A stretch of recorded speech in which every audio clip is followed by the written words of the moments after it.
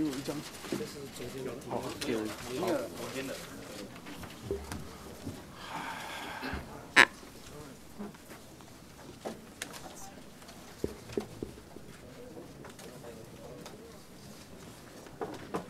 好，现在继续开会，进行讨论事项，请秘书宣读。讨论事项第一案，第一案至第六案。程序发言，好，程序发言，好，那就登记吧。好，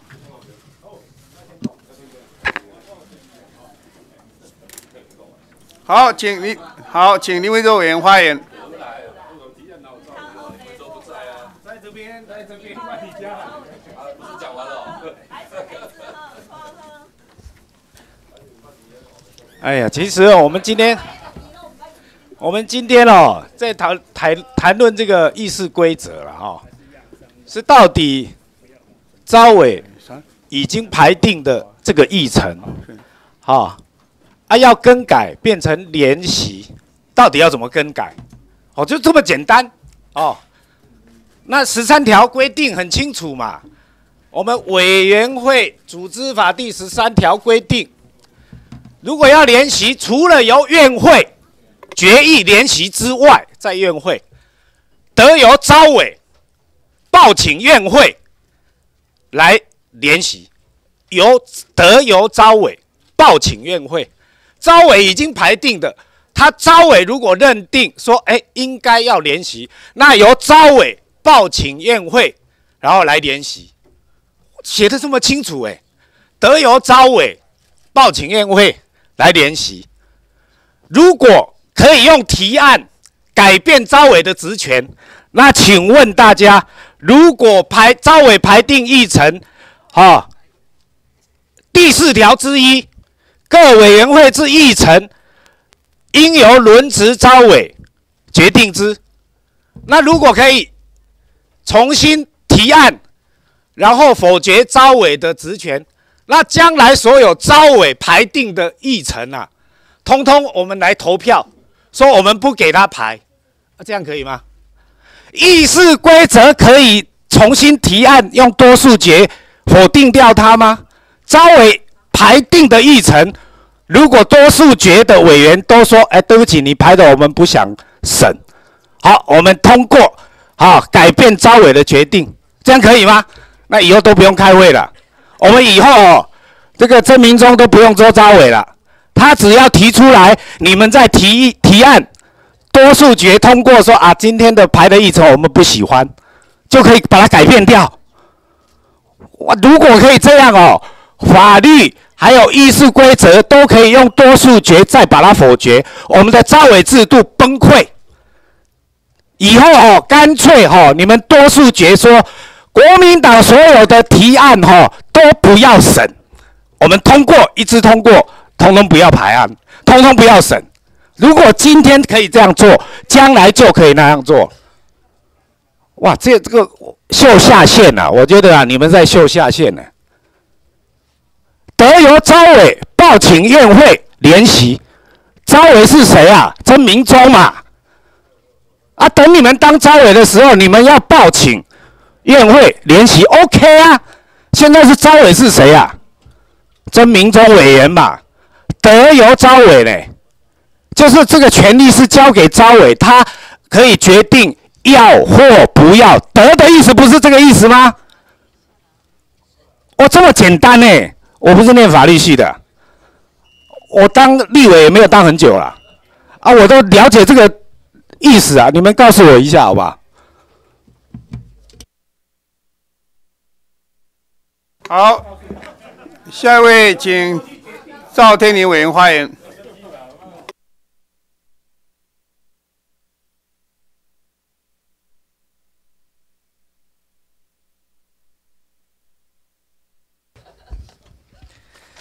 谁在秀下线？谁在做法学教育？我来跟大家说明一下哈。我先说明一下，就是说我们对于这个两岸协议监督条例，基本上我们是支持审查的，我们也也是愿意去面对处理的。那有的政党认为说要更多的委员会一起来啊联席，我们也就呼应，也就支持了。所以，我们真的很希望说，如果真的要审查的话，我们就尽快来进行联席审查。我要特别的正告王玉明委员，为什么呢？因为我非常的呃，跟他过去在同一届里面八个委员会、八个会期，我们都在同一个委员会，在卫环委员会，所以我是以下要念的这一个会议记录，刚好我们两个都在场。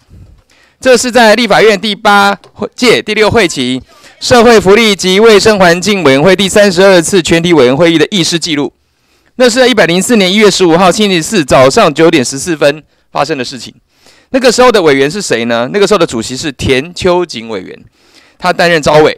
那时候审查的是蔡其昌等十八人领据的人工生殖法第二十一条条文修正草案。那个时候的呃国民党委员江惠珍委员，他就表示说。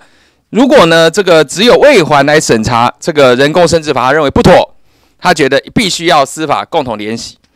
当然那个时候呢，也就挑战了当时田秋瑾委员所做的排案。但是就基于刚才你们所列的这第十三条，这个是招委跟委员会共同的职权，所以招委他就征询了在座委员的意见。当大家有不同意见的时候，就做处理。当时的国民党人数比较多，所以经过处理了之后，就。以多数赞成的结果退回程序委员会，最后的结果呢是改交卫环跟司法来进行联席，所以我也真的想说，呃，包括各位委员不要换了政党的这个执政党跟在野党就换了脑袋。我要这边讲的是说，这只是一个孤立的案件吗？我手上所提的这个每一个界每一个委员会都有这样的例子啊。那我们今天在这边的阻挡到底是阻挡什么意思呢？这样的阻挡其实不是就在秀，不要说下线，这是人身攻击。我要讲的是，这是不是一种意识形态呢？这是不是就其实只是要造成在两岸关系现在还在亟待突破的过程当中，给政府、给执政党制造更多的障碍？那这样子是一个我们国会应该展现的态度吗？我要重申，再重申重申一次，我们愿意支持来审查两岸协议监督条例。我们要扩大不同的委员会来共同审查，我们也支持。所以我真的恳请，也拜托我们的郑明忠招委尽快处理我们所提的这个案子。我们让更多的委员会共同来审查，我们绝对不会阻挡，我们绝对不会排斥。我的名字现在写在上面，就是我是今天要审查，我也是排第四个。我们本来就是支持的，我们是有不同的政党认为希望有更多的联席审查，当然我们就呼应了。我最后还是强调一件事。我跟王玉明委员，我们共同在上一届就处理过改交不同的联席来处理的个案子，不要再拿这种错误的法律常识来在这边做意识形态的攻击。谢谢。好，谢谢。下一位，请姚文智委员发言。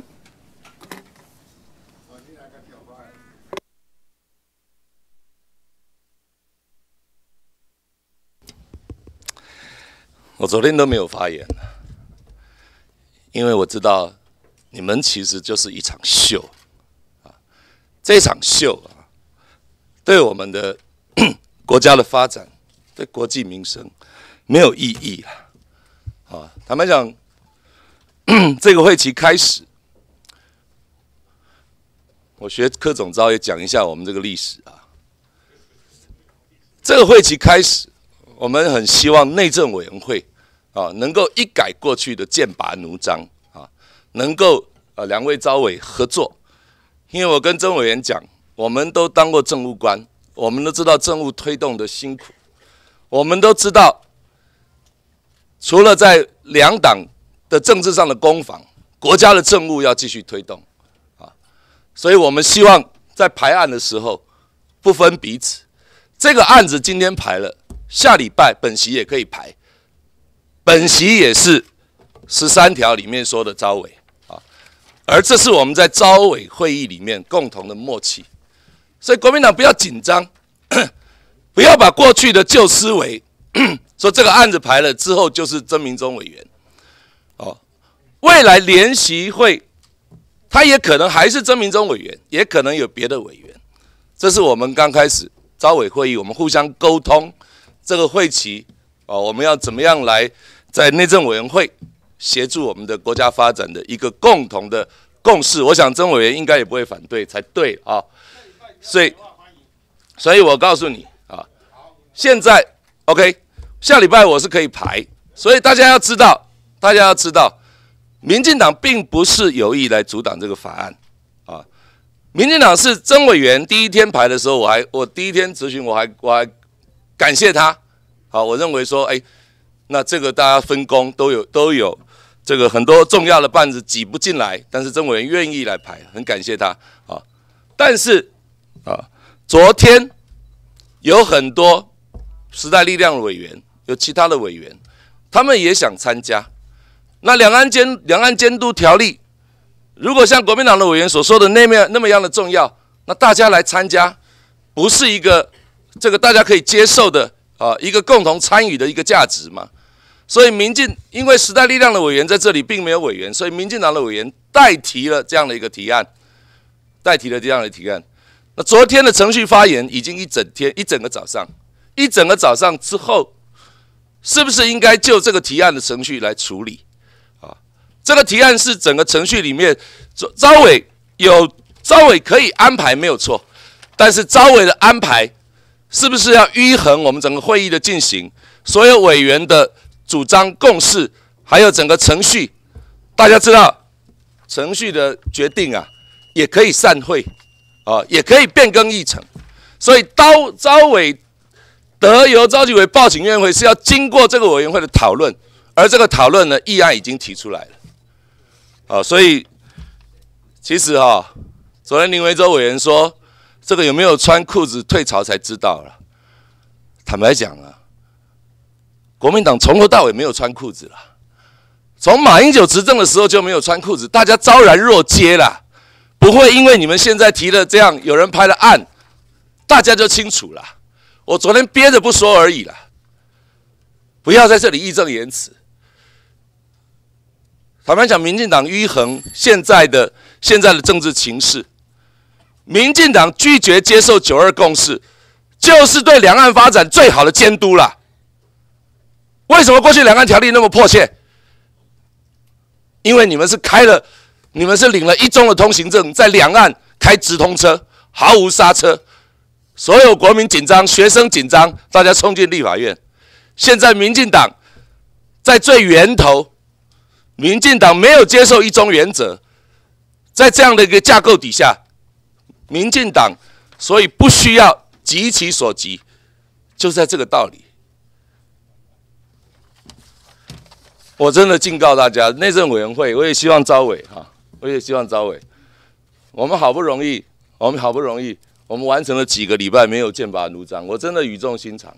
我昨天一天也都没有讲话，但是我们真的不需要再耽误在这些这些意识形态里面。未来的联席会啊，招委还是可以继续主持啊，放心。好，所以这个只是只是一个程序，交由大家共同参与的过程而已。没有必要在这里啊，搞成这样子。好，谢谢。到时候你要排，其实我们乐见了。好，谢谢。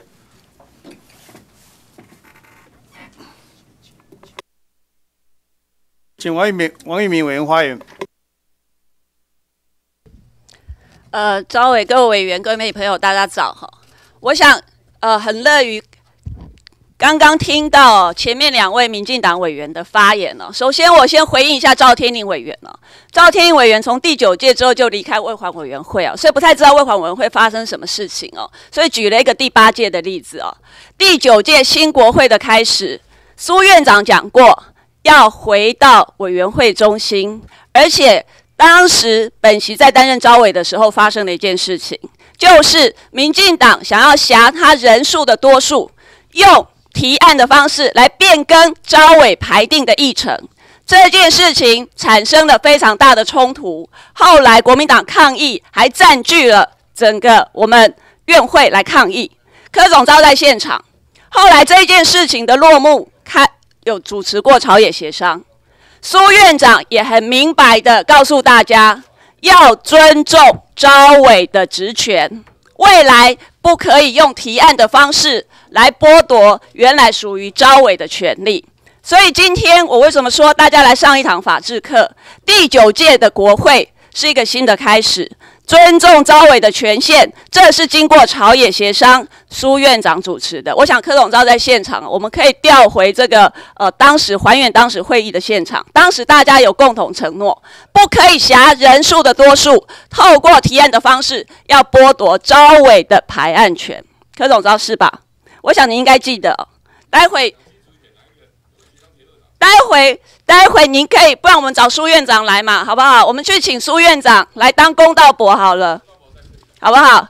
那公道伯待会麻烦公道伯就讲一下。好，那既然这个柯总要当公道伯，待会的发言，请你公道的发言，是不是有开过这样的朝野协商？因为那一次的冲突之后，因为大家都知道现在民进党多数啊，刚刚林伟洲已经讲得很清楚啊，什么事情你都靠表决来剥夺招委的权限，国民党的立委都不要当招委了，国民党的立委都不用当招委了，选了半天投票半天，结果可以透过一个提案剥夺招委的权限。这是尊重招委的职权吗？我希望在座的民进党的委员，大家想一想，如果你不想成为一个二把的民进党，我们当时的协议为了朝野的和谐，你必须尊重招委的职权。而在尊重招委职权的情况底下，请大家回到我们的组织法第十三条，今天要不要联席，除了院会决定交付之外，就是招委的权限。招委来报请院会决定，大家不要小看这样的一个事情。我们任何一个议案交到委员会是儿戏吗？我们经过程序委员会，也经过院会。我再请教民进党一次：你们国会的多数，这么多议案在第九届在交付的时候，你们都在睡觉是不是？那时候都不觉得联席审查是一件重大的事情，突然一觉醒来，发现说好重要。另外一点，本校提出来，刚刚前面两位委员讲得很好，他们说他们要面对，他们不会背个白纸黑字写下来。在你们昨天提出来的提案当中，你们敢不敢具体承诺，退回院会之后，所有的过程都不阻挡，让他走一般的院会程序，让他自然的交付下来，而且一样是由内政委员会来主审。内政委员会主审的情况底下。两位招委轮流排案，这才代表你们想要积极审查的态度啊！如果今天民进党都不敢承诺，说过程都不会背个，让他自然而然的可以再回到院会再交付下来，那就代表你们想要做程序背个，你们在打假球。如果民进党口口声声说你们不是，那麻烦白纸黑字写下来，说你们不会阻挡，也不会背个。也不会从中去做梗，然后还是回到内政委员会主审。那两位招委都很乐意积极的排案，我们乐见呢。我想民进党不要忘记了，先立法再审查，这是谁的政治承诺？喊得震天尬响，这是谁喊出来的？就是民进党。那为什么今天不敢面对？给外界一个交代吧。谢谢。好，谢谢。下一位，请郑天才委员发言。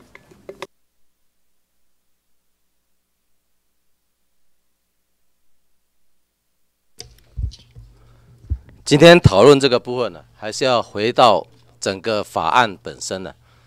这几个法案，无论是民进党团的法法案、时代力量所提的、亲民党所提的，以及张江启臣等呃相关的委员所提的，整个法的主管机关啊都是陆委会，而整个法的相关的部分呢都没有提到。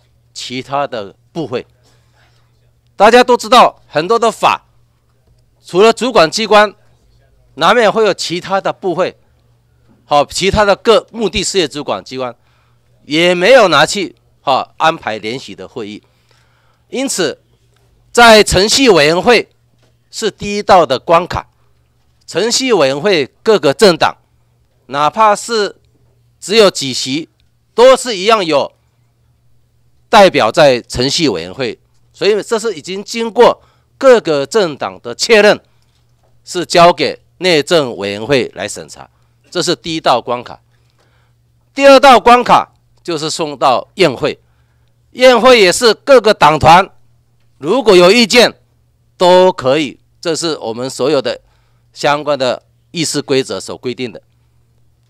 党团有意见可以重新交付。这个程序都已经走完，然后送到内政委员会，送到内政委员会不是只有一天两天了，已经很久了，是上一上一个会期啊，是去年的事情了，怎么今天突然想到，哎，应该要联席？如果没有排，昨天没有排就没有想到。所以我们回归到立法院各委员会的组织法第十三条，所以这个不能透过提案来表决，可以谈的是可以谈，真的有有需要联系可以谈，是应该我们坐下来跟召集委员谈，而不是啊提案来表决。啊，刚才很多委员都已经提到了，这个是召集委员的一个前者。啊，所以我们可以提，但是不能用提案来表决。这个毕竟我们要尊重法的秩序，何况这个已经经过非常多的一个关卡，而是而且是去年就交付到我们内政委员会啊，所以这个部分呢，也请大家啊能够回到法律的层面以上。嗯，好，谢谢。下位，请李进义委员发言。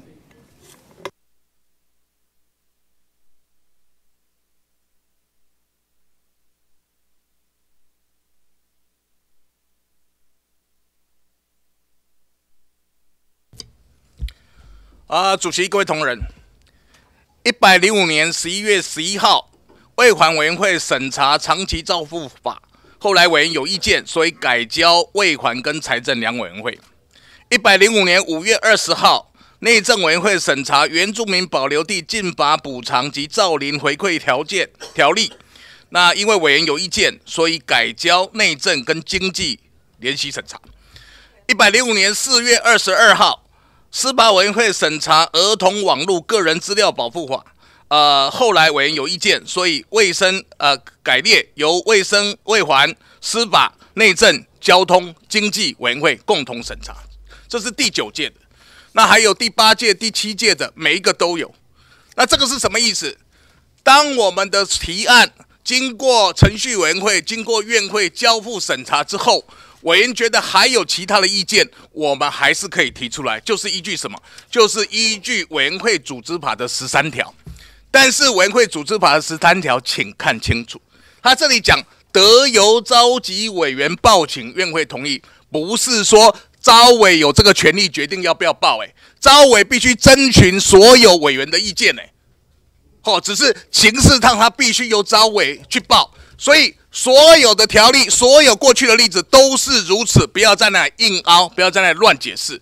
如果议事规则你查清楚的话，你还可以发现，我们还可以变更议程，呢，只要有人提出变更议程，马上招委就要处理，处理完以后，如果通过了，就是变更议程，所以没有说我招委最大。我高兴怎么样怎么样？我高兴交院会交院会，我高兴不交院会不交院会。可是因为是尊重招委的职权。那刚才国民党的委员讲了，没有没有，这是第九届才开始的，因为第九届有委员会中心主义，苏院长还开过协调会。很抱歉，委员会中心主义的条文是我写的。这从第八届国会改革里面，委员会中心主义本来就是我写的案子。我们希望尊重委员会。但是委员会的前提是什么？委员会的前提是所有委员的意见，而不是招委一个人的意见。那今天的条件非常清楚，我们也愿意审查两岸呃监督协议条例。但是问题是，昨天时代力量提的非常清楚，他们希望有其他委员加入，所以我们作为一个执政党。我们作为一个多数党，因为时代力量在内政委员会他没有人员，所以我们帮他提了一个案。那既然这个案提出来，这个就是程序提案，那请我要请我们的招委立即处理程序的问题，要优先处理。我想郑明忠委员哈当了这么久的立委，他应该非常清楚。那所以昨天的动作到今天的动作，其实只证明一件事情：证明谁不懂法律，谁没有穿裤子。所以问题非常清楚嘛，现在是程序问题，就程序问题来解决。今天提的这么清楚，过去发生这么多事，说不行不行，现在都不行，哪有现在都不行？第九届发生过这么多事，都是依这一条，然后程序上是什么？一定由招委报回去院会嘛。那报回去院会就是这样处理嘛？那难道是由其他委员报吗？那招委可不可以不处理？招委不可以不处理，因为程序的提案已经正式提出来，他就必须征询所有在场委员的意见，然后做一个决定，然后他决定要报不报。哦，所以不是招委一个人的权限，委员会中心主义，这个才是真正的委员会中心主义。所以请国民党的委员哈，不看电视也多多看一些议事规则哈，搞清楚。有这么多怎么没有？我可以借你看，都都表都表决过哦。第八届、第九届都表决过。国会中心主义本来委员会中心主义本来就是我提的案子，是我在第八届提的案子，所以这个非常清楚。不要把法律条文乱解释。得由招委报请，当然是透过招委报请啊，不然哪有哪一位委员报请？那不是招委一个人的权利。所以希望把这个搞清楚。如果你今天要排一场秀，演一天也差不多了，烂戏不要拖平。好，如果现在我们尊重时代力量的意见，尊重民间团体的意见，说更多人来审查，就赶快交回院会，我们赶快来进行审查，这才是正办，不要再拖了。谢谢。好，谢谢。下一位，请赖瑞龙委员发言。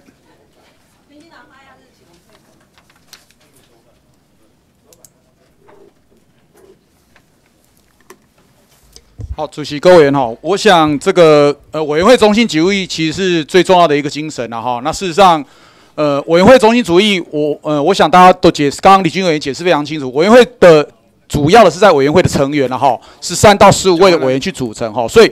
招委的权利其实也必须要尊重这些委员哈。我想，呃，委员会的中心还是在委员本身啊哈，所以我希望这一点能够再次的去重申哈。那从第八届的时候，其实有十八次了哈，也是经过委员会内有意见之后哈，然后大家可能针对需要呃联席或其其他的相关哈，所以也有十八次的这个记录了哈。整个作为不管是国民党、民进党都有了哈，就改改到了其他的联席哈，或改到其他委员审查。那包括第九届也有四。次了哈，第九队到现在一年多的时间，也有四次有做这样，所以其实只要委员会内的成员认为有必要需要做联席或需要改到其他委员会或需要扩大更多的参与的话，其实这个过去到现在都有这样的例子哈，所以我们还是要再次重申了哈，委员会中心主义的精神是来自于委员会本身的权利，这些委员会。最关键的是这些委员哈，所以我也希望招委虽然法令上面是写得了哈，但是我希望招委还是要尊重委员会。那当然用表决的方式是最不好的方式，我们还是希望说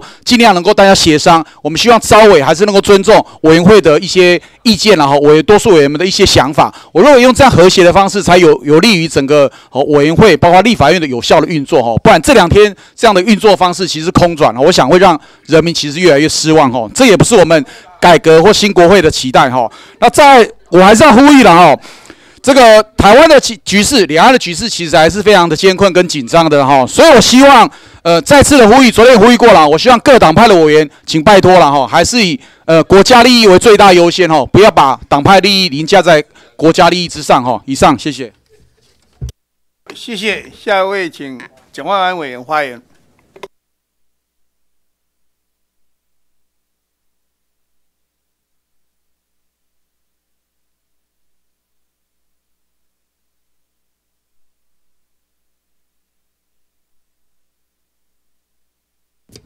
哦，主席，呃，各位委员同仁，各位媒体朋友，我想首先哦，我们来解释一下法条哦。我想民党委员哦，其实我我听不太懂他们在说什么了哦。关于立法院各委员会组织法第十三条，就文义解释哦，很清楚，就是由得由召集委员，也就是招委报请院会决定哦。纯就字义上面来解释，当然是。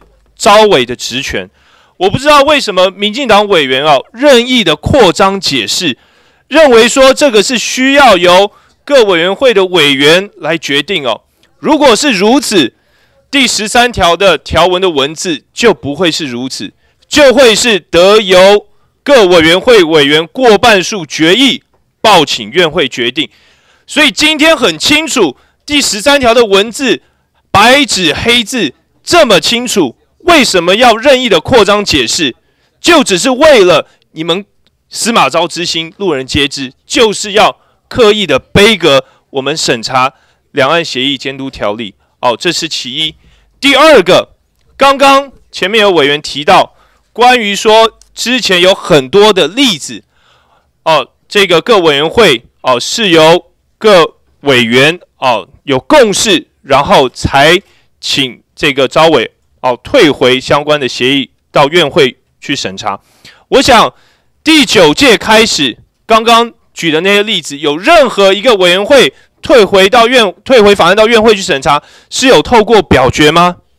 所以很清楚的就是说，必须要是各委员会各委员有共识，才会退回院会去。那今天很清楚，我们内政委员会对于民进党提的这个议案没有共识，所以难道要透过表决吗？刚刚也有委员说不希望，所以例子也很清楚，过去的先例没有透过表决，而且更重要的是，委员会组织法第十三条这么清楚，我想也不需要再硬凹哦。我们今天就事论事，就法论法。我想，如果说哦，真的民进党有心想要来审。两岸协议监督条例就不要再做任何技术的悲歌。我想另外我也提一点哦，我也不是很清楚，民进党委员包括柯总召他谈到的这个时候不适合来审，但是民进党确确实实就是排为优先法案，为什么要刻意的悲歌？我想大家也很清楚，就是不愿意面对三一八学运的时候。民进党喊得多大声，反黑箱，先立法再审查。当你选举过后赢得了选票，就把当初参与选运的这些年轻学子抛在一旁。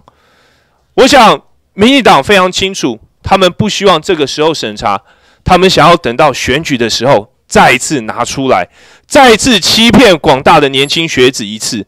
我想。这个绝对没有办法被民众所接受，所以无论如何，依法论法，就事论事。我相信我们大家一起来面对民党委员，不要再躲，不要再逃避。好，谢谢。下一位，请许淑华委员发言。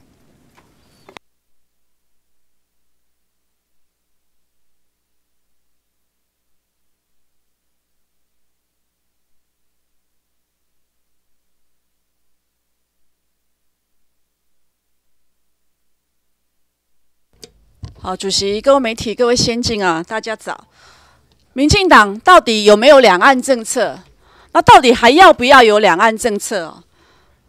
因为这三个会期当中，我们都看到民进党把两岸的监督人民条例拿为你们的优先的法案，但是呢，我们却没有看到民进党拿出来审啊。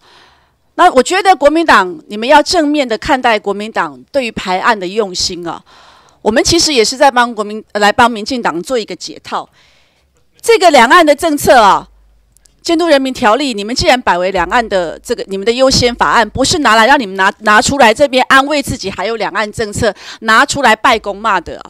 所以我觉得今天既然大家刚刚很多的委员也提到，我们今天都不不排斥去审查，民进党也愿意正面的来审查这个案件。既然我们国民党今天排案了，我觉得我们大家就应该更加理性的来探讨。那至于说到底要不要联席，我觉得这个也是可以协商的。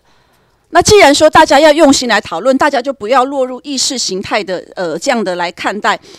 刚刚郑天才委员特别提到，这个联席呢，过去去年的时候就已经交内政了，今天突然要交联席，今天要讨论联席也是不是不可以？只是我认为，在我们宪法的架构之下，涉及两国论的版本要撤回。这也是蔡英文特别讲到，要在中华民国的宪法底下去处理两岸的这个这个关系啊。那不然的话，民进党你等于就是间接的告诉我们的国人，你们没有能力处理两岸关系。现在两岸的激动也是民进党你们自己造成的。现在国民党愿意协助你们共同来推动，来打开两岸目前的僵局，这样不是不好吗？为什么我们大家用意识形态来讨论它？所以我觉得，如果说要交联席。国民党，我们不是不，我们不是会反对，但是我觉得要把涉及两国论的版本撤回，我们会支持。谢谢。好，谢谢。下一位，请林立场委员发言。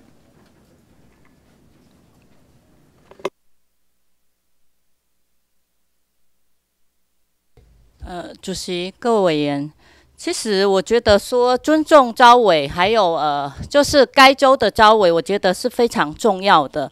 那刚刚也听了很多同仁讲了很多了哈。那立禅是新人，也在这边学习。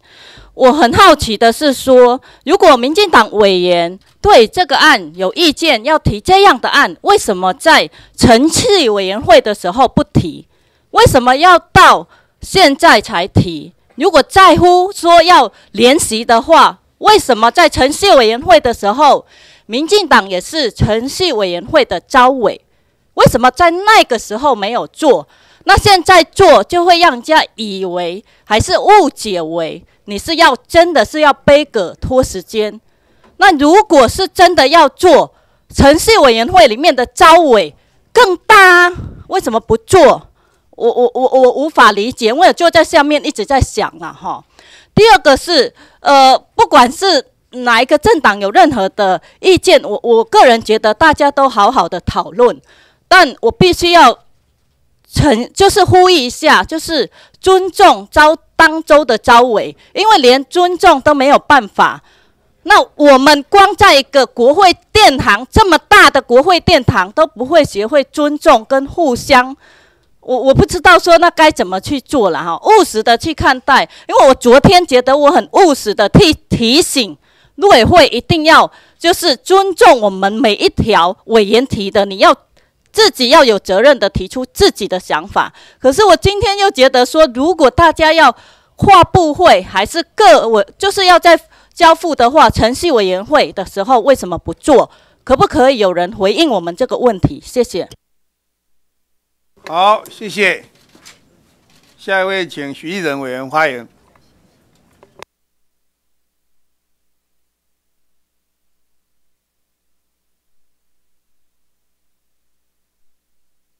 好，主席，呃，各位委员还有各位媒体朋友，我想今天审这个呃两岸监督条例呢，其实是回应这个学运三一九的呃三一八的学运最重要的一个一个诉求啦。那三一八学院讲的先立法再审查，其实就是今天。我们要去谈的一个非常重要的一个原则。那这个会期呢，我们知道陆委会也把两岸监督条例列为优先法案，但是我们知很可惜的事情，我们看到。这个呃，民进党尤其是这个执政党，在对这个议题上就是毫不毫不推进，然后也没有态度，甚至于蔡其章副院长还说，这会期推动两岸监督条例比火箭登空还要困难。我要我要跟这这边跟蔡院长说，蔡副院长说，伊朗马斯克都可以让火箭上月球了，上上火星了。我觉得两岸监督条例现在没有不审的一个原因。第二个，昨天有提提出来说，两岸监督条例。是不是要在外交国防去联联席审查？哈，我们我们在外交国防委员会也咨询了李大为部长，李大为部长说的事情是，两岸不是国与国之间的关系，外交外交委员会没有必要列席。那是不是也要请这个呃？我们的李部长或是这个行政这个执政党来说明一下，这个两岸到底是什么样的一个关系？因为如果连我们的外交部都说两岸不是国与国的之间的关系，那他没有必要列席。外交部的这个这个态度，他觉得说根本没有联席的必要。那请问一下，那我们现在呃讨论说要联席的这个呃呃目的是什么？那再来的话，是我们的陆委会主委张晓月，他说这个这个会期希望列为优先法案，希望早日通过哈。那呃，服贸货贸是否继续推进？那要先先立监督条例，才有办法继续谈吼。那不知道这边是不是可以请这个主席让让我请教一下张小月主委，说两岸现在到底是什么样的关系？主席有办法吗？就要请他回答一个问题。好，没有关系吼。那就是我们可以看得出来吼，其实这个呃行政单位，然后跟我们这个执政党，其实两边。这个完全是不同调，然后其实也对这件事情没有一个一致性的想法。那我还是要再提出来说哈，如果说执政党真的有心要回应三一八学运先立法再审查，那请问一下时间表是什么？如果说今天作为反对党，我们都愿意提供这样子的一个平台，利用利用主主动来去审查这样的一个法案，那执政党其实没有这个逃避的这个理由。说一句话，球来就打，你们在害怕什么？好，谢谢。下一位，请吕玉玲委员发言。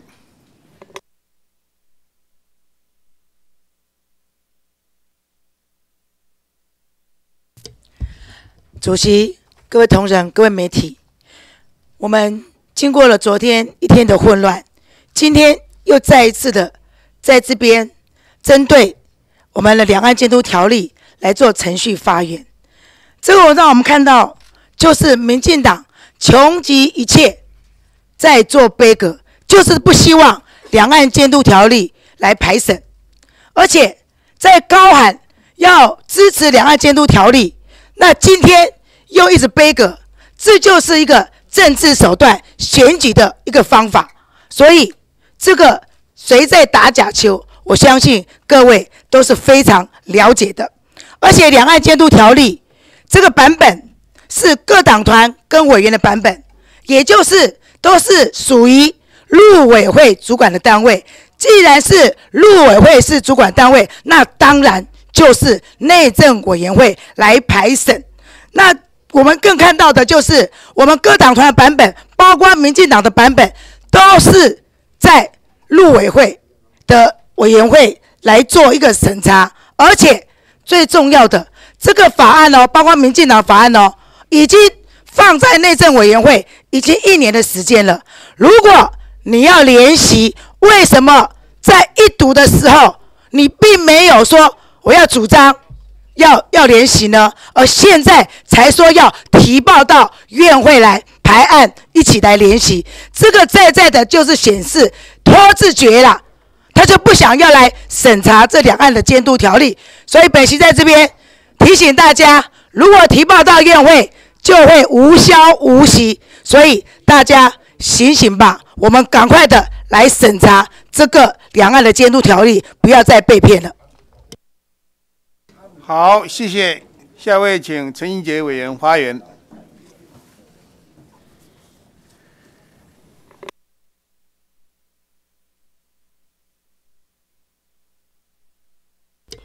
主席、各位同仁哦，昨天本席在这里的时候，就不断的在强调，亲民党不希望任何的重大法案，包括所谓的两岸协议的监督条例这么重要的法案，是去成为蓝绿恶斗的工具。但是从昨天到今天到刚刚，所有委员们对于程呃审程序上的一个发言，其实非常清楚的看到，国民两党一样。态度没有改变，就是把两岸协议监督条例当成是斗争的工具。那我想试问在这里，我想试问各位，这是人民所能接受的吗？还是请问国民两党各自在讨好谁？哦，那昨天呢，我也说过了，大绿小绿在唱双簧，那现在看起来毋庸置疑呀。哦，现在呢，他们说要联席了，那看起来是不是抱薪救火？我不懂，主委，你坐在那边，是在打选的时候，我还曾经问过你，我说，哎，张志军，大家都传是总统府高层要收理他，你说绝对不会有这样的事情。可是你现在坐在那里，我问你，你这样的做法是不是要把两岸关系弄得更僵？现在所有的动作，只看得出来，我们的主委就是愿意让两岸关系除了冷冻之外，就只会差更差。那呢，也更证明了柯总召说的两岸监督条例是真的不是民进党的优先法案。那我想试问，不急的理由是什么？是真的，主委你已经认为两岸没有协议可以谈了，还是没有复谈的曙光了？所以我们干脆就在这里，我们陆委会的主委就选择自暴自弃。所以在这里，我不断要强调说，亲民党希望两岸关系要的是正常交流，两岸间。都的机制是要可长可久，我们也不断要说，不是你自己坐在这里，自己想要怎么做就怎么做，要行得通，要走得出去，不是说今天改朝换代了就因党而异哦。那接下来呢，我还是想要再次强调，在筹委会的时候，时代力量也有人呐，民进党也是招委啊。那排案的时候，为什么大家都没有异议？为什么呢？这个案子放起来内政委员会这么久了，那到现在大家才要来吵这个？那所以呢，我觉得这个到底背葛的是它的技术到底是在吵什么？我真的是看不懂哦。那接下来时代力量说，昨天提案说两岸监督条例应该要全院呃委员会来联席。那我刚刚也听，不仅民进党昨天说，哎，要帮忙提案啊，所以因为他们没有人，我们帮忙提案。那奇怪了，我们在未还的时候，亲民党也没有人呐，我怎么没看有人是要照顾我们，要帮我们提案？哦，在上个会期的时候，那既然是这样，到现在早上我还听说可能要用多数，就是强势来表决。那这个唱双簧到底演完了没有？那我觉得说。以前的两岸关系或两岸协议，或许目前我们真的是没有迫切的需要，但是是不是利用这个机会把本条例完整修正好？说真的，也不是一件坏事哦。所以两岸协议，呃，在这里，我其实我要再次呼吁国民两党，我不知道各自在讨好谁，包括实力，我不知道为什么今天我没有看到时代时代力量的任何委员哦。那昨天我不知道是迪博都几蠢嘞哦。那真的我。如果要这样大家作秀下去，那干脆今天就不要审了嘛。那主席，你是不是就是干脆明确的告诉我们，不要大家在这里这样各自浪费，然后各自作秀，然后要审就应该要好好的审。但是我要再次强调，要有关委员会联席，亲民党一点问题都没有，这个昨天也主张讲的非常的明确。但麻烦我再次强调，把设有两国论的提案去完全排除，因为这样的内容其实一点实质的意义都没有。哦，包括主委，刚刚我好像听你受访的时候，你还说你开放让外交、国防一起联审，那你开放的理由是什么？哦，这个我听了我很讶异。我看你在上面受访，我在下面听到，我自己都吓一跳。对，连外交部长都说不需要了，结果今天我们陆委会主委自己跳出来说我开放。哦，那到底你的具体的意义是是什么？你这样做是什么？还是你要带给的是两岸更大的伤害？哦，这个我希望你要全权负责啊，主委，我在这里呼吁你，不是因为陆委会现在一点功能都没有的话，就可以随便乱讲啊。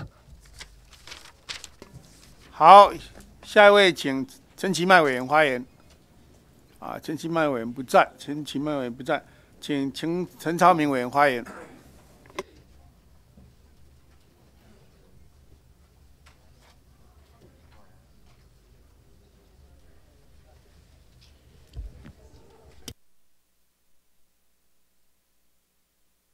各位列席委员，大家好，大家早。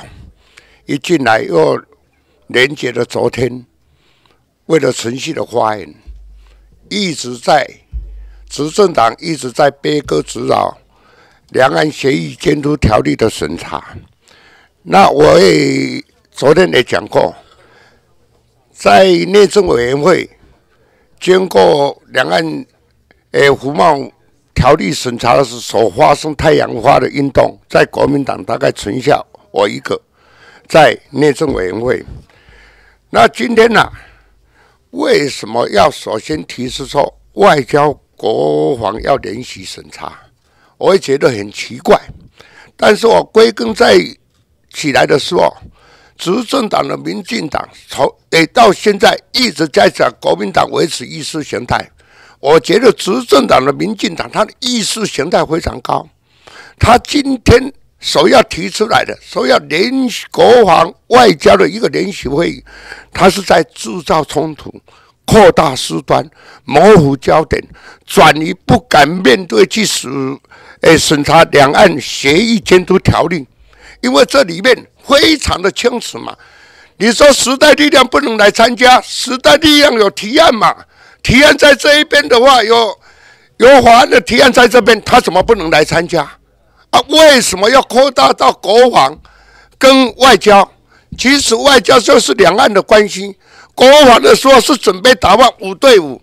啊，那我们一直在强调经济归经济在，啊，你可以来参加。今天讲的时候，他不能时代力量不能参加审查意外诶法案的时候，有任何提案权的都能来参加。啊！你们偏偏偏又解释不能参加啊！今天你说讲招委很大，招委真的很大。我是从民进党那边学的。招委说今天啊休会，讲马上就休会，要等到晚上十二点才来。你也乖乖要陪着他，说不大。而且啊，我一直啊拜托啊，我们民进党委员，您刚才讲您发点个地下就管问家弄办？你们现在执政的换了脑袋，常常。电视看多了，你看到那个德友召集委委员啊，报警，德是他要不要呢？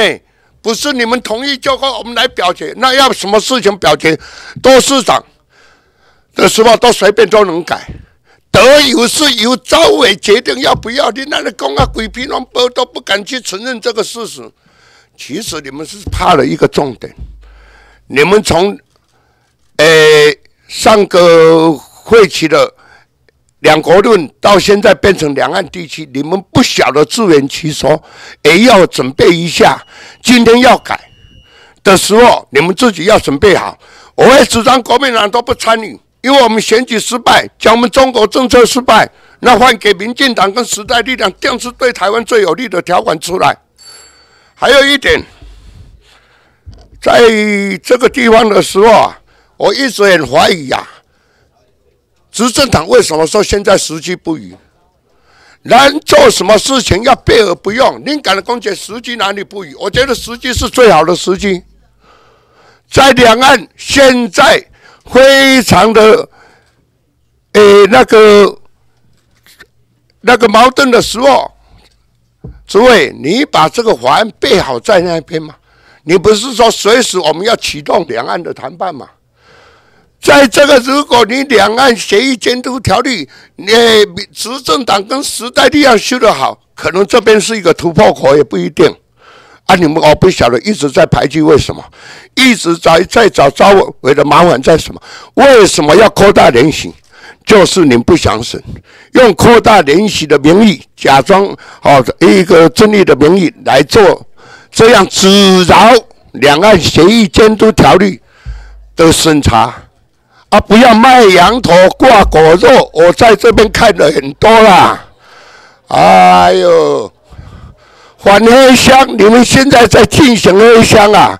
民进党很会挂羊头卖狗肉啊。我我引用讲假了，丢了丢了，他们都面带微笑承认我的观点啦。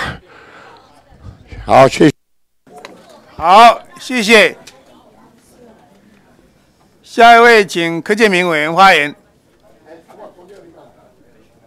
柯建明委员，马呃。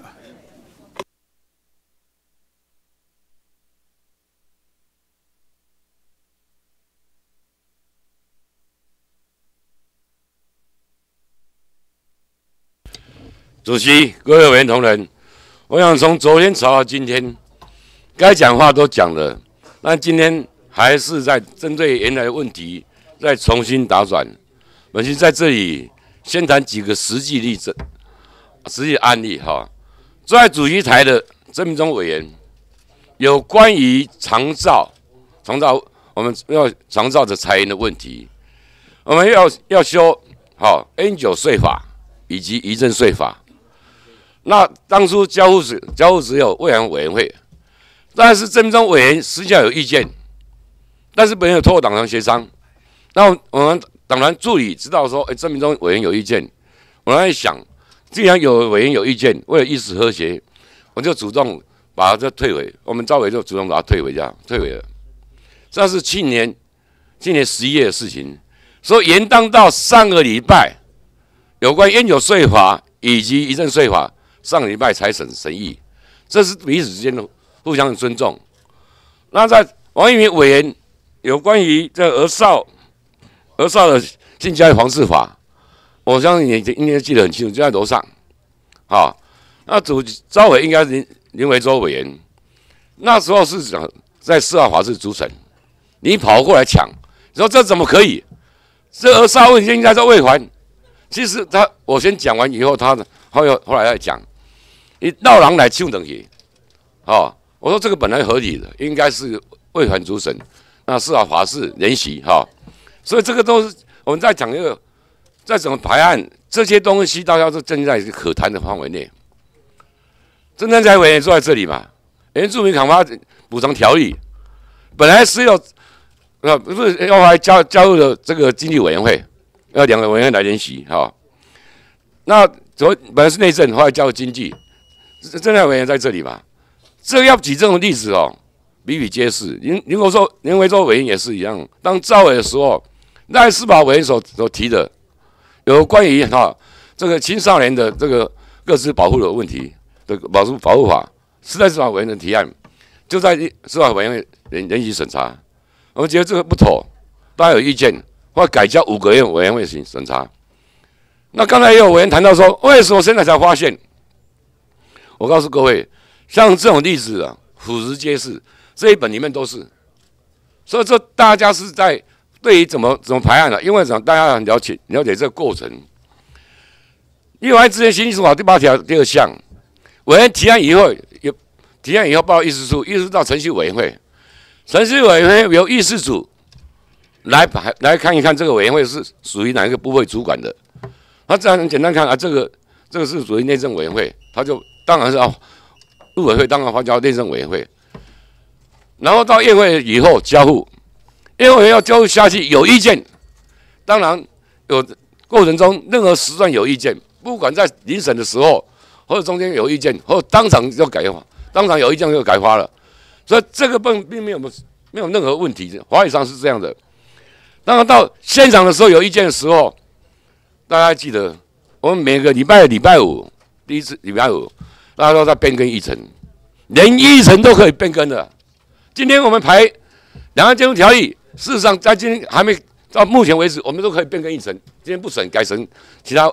其他法案，这个都可以啊，这些都是议事规则啊，连议程都可以变更的，改交其他委员会当然是可以啊，这个是各委员组织要写很清楚啊，那写清楚，就大家认为要联席的时候，德由交委，为什么德由交委，并不是招委一个人可以决定的，请大家看看这德和英，他要写英呢，英就是招委一个人决定的，德就是稍微让那招委为什么用德？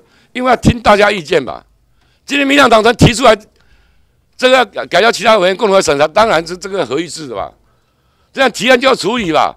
今天不是赋予主席前人百分之百的权利，他才决定的，这是委员中心主义，好不好？至于王玉云所谈的，立法院院长曾经组织过这个尊重、尊重啊，尊重委、这种招委、这种委员会啊。你不要讲话啊。你不要讲话？你讲话拢未未通的啦！你用把条后面倒来倒去啊！苏院长一直强调，包括所有人都是强调委员中心主义。为什么？所以呢，要尊重委员会共同决定。所以这个礼拜一，时代力量党党团提案，交苏院长啊主持朝野商谈有关于这个这个要改交其他委员会来来审理。苏院长不处理，因为这是委员会的事情。然后今天我们今天大大家决定重回宴重回宴会改交的时候，大家有意见，当然苏院长来主持超越协商了。所以这个立法院长期不管王院长在的时代，乃至于现在苏院长的时代，当然尊重委员会。所以为什么那秀明也在这里？为什么你们有发？那苏院长说这个还是回到委员会处理。委员会送上宴会的时候，当然大家还有意见，要几个委员会，那还有意见的时候。当然是苏院长来主持朝野协商嘛，所以这个是委员会中心主义，大家把它讲清楚一点。那今天我要谈的就是说，另外，蒋万安也不必咱们见缝插针，什么先立法后审查三一八的时候，三一八施工环境和和现在是不一样。那时候胡帽后帽，黑箱胡帽后帽，你懂不懂？然后大家情势施工不一样，那是马英九时期了，明白？错嘛嘛，蔡英文当了马英九啊。哦，怎么怎么怎么好了，啊啊！时间到了，时间到等一下，你不是说没有时间限制吗？没有没有，今天有，今天有。所以这三一八情况下不一样，先立完后审查，当然是胡茂后茂的问题嘛。当然当年就是王王院长跟王院长共同用用这个原则，所以王长在那天在三一八在议议场前面讲说，在监督条例没有完成立法审查以前，他不组织超额协商，就是如此嘛。然后解套三一八，解套三让他能够能够和平落幕啊！所以那当初为了这个事情，王王长至少搞了一个多礼拜，而且和三一八里面的，包括戴中强以及林伟涵、陈伟霆都见面都协商过了。虽然那是密室，但是这这个当然啊啊，所以那那私下协商啊，所以解决问题最重要。那时候为了解决这个问题啊。那今天我要主要谈到，大家，我们对这个法案，大家心知肚明了，大家心知肚明。我们要国家高度、国家利益、国家总总体战战略立场来考虑这个法应该怎么审。事实上，所有所有不同意见的人，只是对于法内容啊，包括包括戴中戴中强啊，今年戴中强也罢了啊，这是法的内容了。但是我不能接受说，刚刚才还有委员讲讲说，有关于两国论先退回再讲，再来审，这个没有一个人有这种权利啊。因为未来这个法应该长得怎么样，是合一致的，大家共同来讨论。那当当然，法内容都各方有不同意见和看法。那进入审查以后的事情，不能现在先强制，不管任何团体和个人或是政党，不能强制说这个法应该长得怎么样，否则就是做做攻击，这是本席不能接受的。好，谢谢。下一位，请吴志阳委员发言。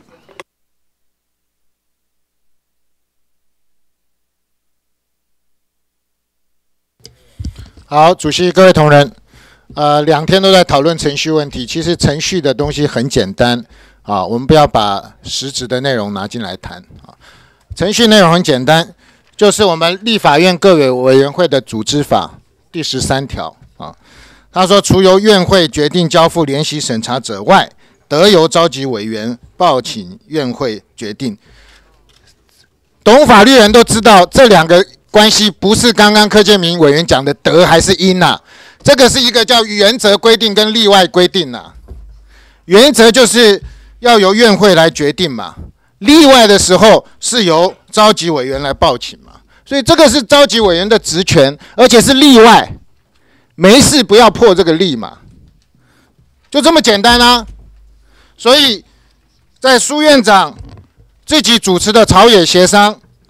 在去年一百零五年七月一号，他出来宣布的第一个重点，就是在宣布，请各党团要尊重招委的排案权，这个是议事可以运作跟和谐的运作的一个最基本的基础。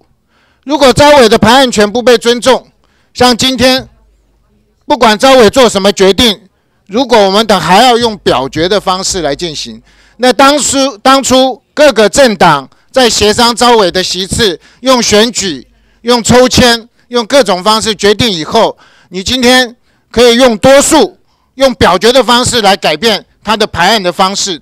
请问有尊重到招委的排案权吗？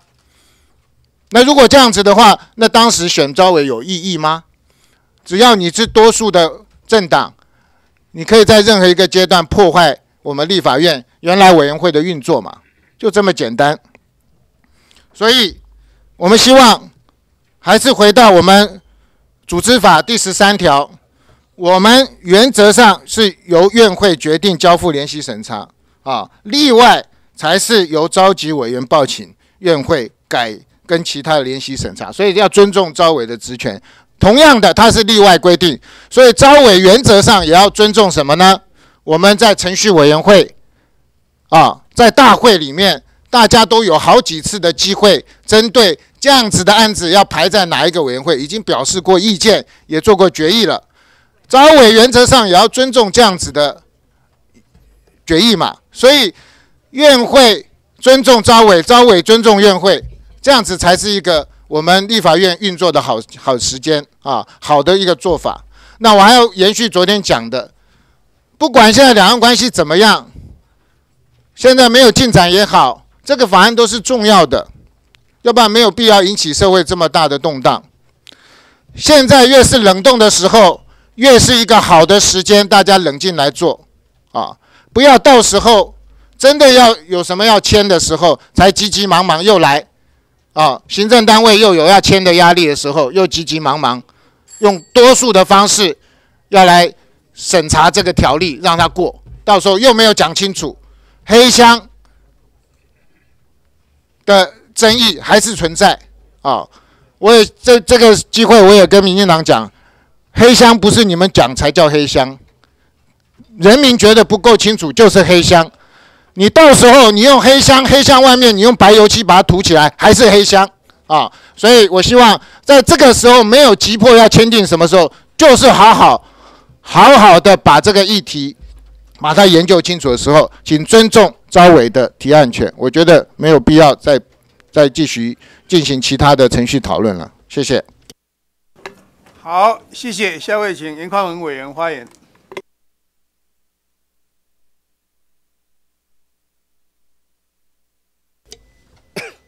主席、各位委员同仁，主席，呃，今天啊，我想两岸监督条例很清楚，它的业务范围是属于我们陆委会的的这个业务范围哦，所以由内政委员会来排案审查是没有瑕疵的。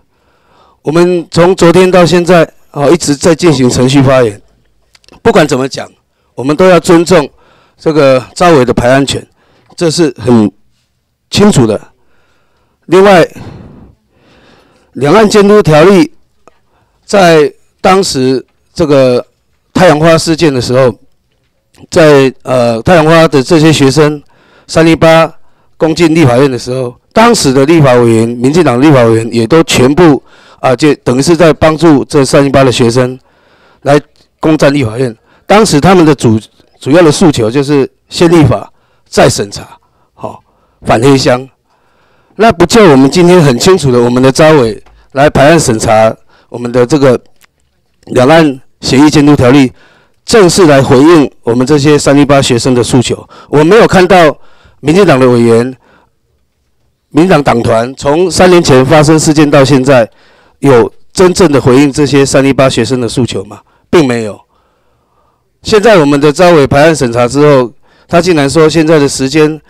啊，这个不是非必要，也不是马上必须要做的，但是跟蔡总统还有他们的行政院认为说，两岸监督条例、协议监督条例是必须要马上进行的一个呃重要法案、优先法案，所以我想哈，底下大家都很清楚，时过境迁呐，好双重标准，好当时的黑箱，所谓的说啊，当年的黑箱，现在哈。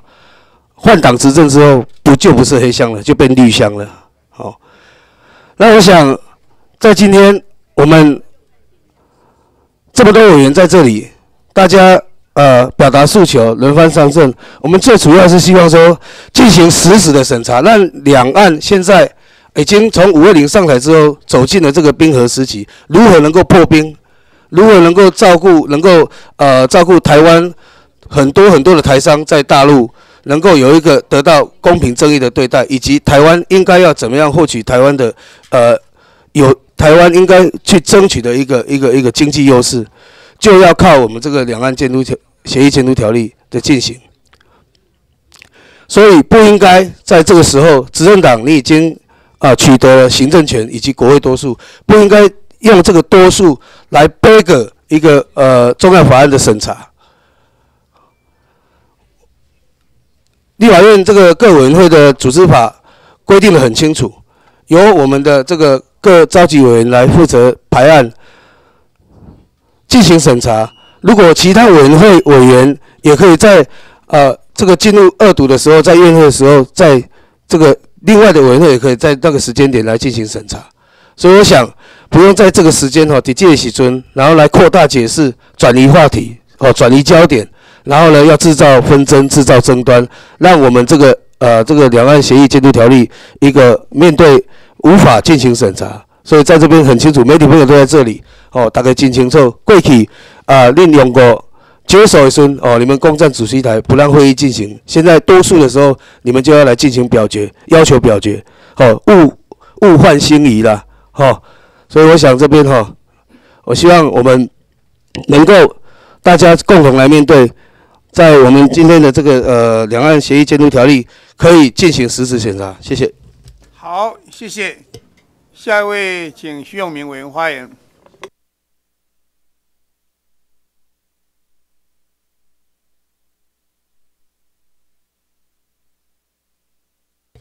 谢谢主席哈，我想时代力量立场从昨天的发言到今天是一致的，我们希望这个关于。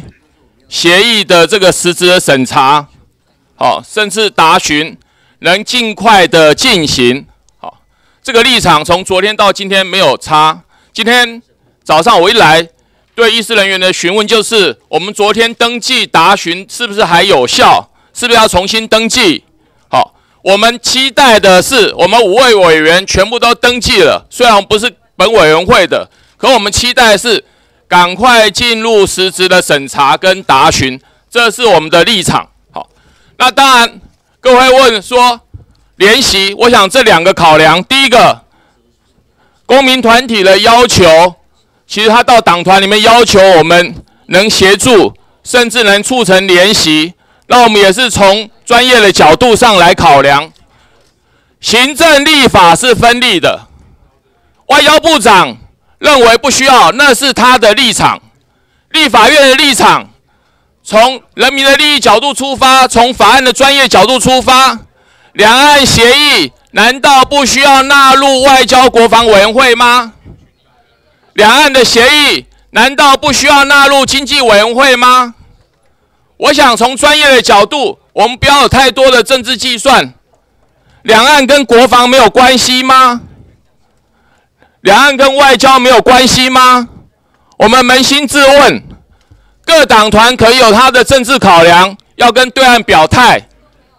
今天在这个委员会，我竟然听到“两国论”是个脏字眼呐！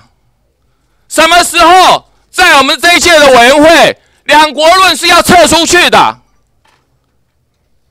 政党要表态，要对中国表态，那是你们的政治考量。请问你们选票在哪里？我们不是台湾人民选出来的吗？我想请问，我真的不想进入实质的讨论。我本来是期待能在答询的时候来谈这个事情。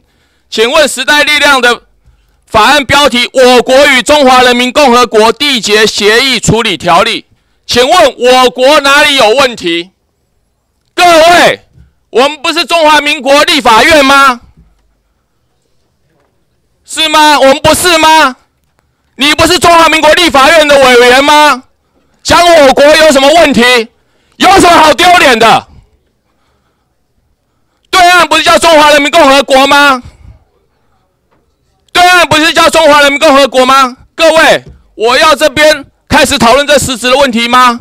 我很希望，因为我觉得实质问题的讨论好像遥遥无期。各位，如果进入实质问题的讨论，大家才要真正把自己的立场讲出来，不用这边做政治表态，不要对中国这边输诚，阻挡法案的审议。到底你们在中国什么利益？到底你们在怕什么？两国论什么时候在台湾变成肮脏的字眼？在新政府上台，我相信这绝对不会是发生的。所以这边我们没有本会的委员，任何投票我们也没有这个权利。可是我们这边真的恳请主席，恳请各位，是不是能让两岸监督协议的实质审查尽快的进行？尽快的进行，公民团体在外面很期待。虽然我们上有程序上的问题，可是我觉得这不是不可行。联席审查是很多委员都支持的，联席审查是很多委员都支持。我这边要真的对于曾明忠招委愿意排这个案，我们也感示感谢表示感谢。我们真的希望这个起头。不要让他这个火就这样熄灭掉了。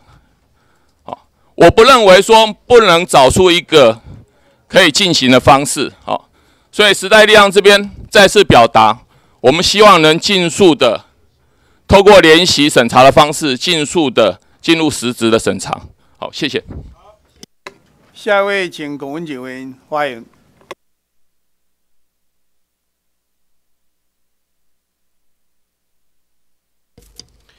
呃，主席、各位委员啊，大家早啊！我想刚才那个时代力量那个徐永明委员，他先不用，先不用那么激动了哈。那个，呃，我我是没有听说什么两国论什么什么，已经看这个今天的议程，陆委会哈审查由美女委员二十三人领记两岸协定缔结条例草案，时代力量党团领记我国与中华人民共和国缔结协议条例草案，所以我想不必太激动了。但是本席在前天有咨询啊，陆委会张晓叶呃主委哈，我说我们现在两岸的关系是怎么样？国台办跟陆委会啊，到现在为止呢，还是停留在那个 line 有读不回。目前为止，我们的陆委会没有跟大陆的国台办的有任何的接触、任何的谈判啊、任何的这个这个妥协。那现在现在已经两岸关系呢是在原地踏步啊，原地踏步啊，而且而而且是在一个非常激动的状态。要怎么样突破两岸关系？要突破两岸的僵局，就是要签订这个两岸协议的这样一个监监督条例。这个不是当时太阳花学院要求我们办的吗？想想看，几年前国民党执政的时候，我们要推那个服贸协议啊，甚至于要推 eca 还没有审查之前啊，民进党委员就一字排开了，会让我们审吗？不可能让我们审啊。那后来呢？太阳花学运说什么要先先立法啊，再再审查。那今天两岸协议监督条例已经排上了议程啊，我们征召委排上了议程，为什么大家不好好的审呢？我们抛开这个统独的意识形态好不好？为了我们台湾的经济发展啊，为了两岸的经贸的这样的一个往来，我们抛开政治斗争嘛。两岸协议监督条例啊，我们的。呃，主委也也希望啊，张小叶主委前天我咨询的时候也支持，希望两岸协议监督条例早点能够早点通过啊。那你说要不要排外交委员会？昨天外交部长李大为不是讲了吗？两岸的关系不是外交关系哎，啊，我们尊重内政委员会的职权啊，内政委员会的职权啊，尊重招委的职权啊，让两岸协议监督条例先出我们的内政委员会嘛啊。所以本席是积极引以为忧啦。我们抛开统独意识形态，抛开政治斗争，怎么样促进两岸的经济发展？大陆这样的一个庞大的市场，我们不能放弃。两岸协议监督条例要保障我们的台商，保障我们的经济发展啊！两岸协议监督条例恐怕是现在啊啊能够突破两岸僵局的唯一的啊唯一的一道法门呐。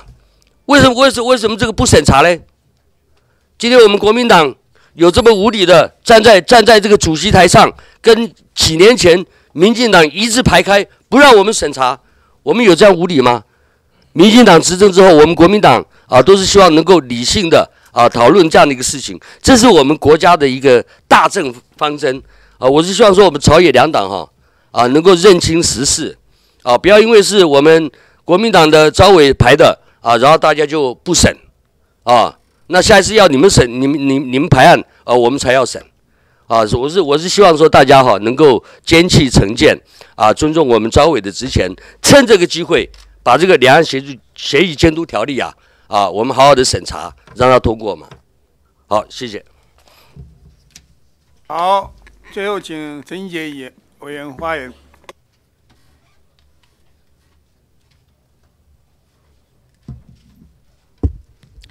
嗯，谢谢主席哦。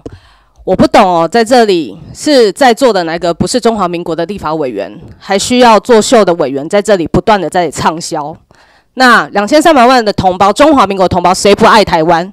有需要靠某个政党的委员在这里大喊着“我爱台湾，我爱中华民国”，太恶心了，真的。